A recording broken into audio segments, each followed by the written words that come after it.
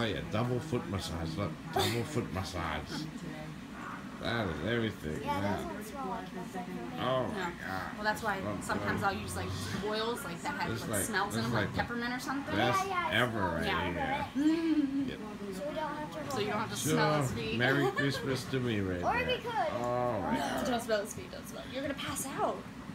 No, don't Yeah. Oh, he's smelling my foot. Oh my god. My feet must smell like petunias. Oh yeah. Oh, So yeah, that's good. So That's you so hold it right here, and then you use your knuckle. oh yeah. Oh god, that's good. Wow. That's Which just- foot? Ah, the left one. Ah. Wait, what? oh yeah, that's awesome. Oh my god. It's hard, huh?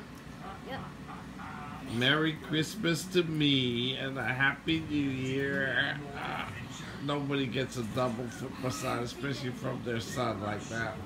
I must be the best dad in the whole wide world. I'm sort So of this one you can also lucky.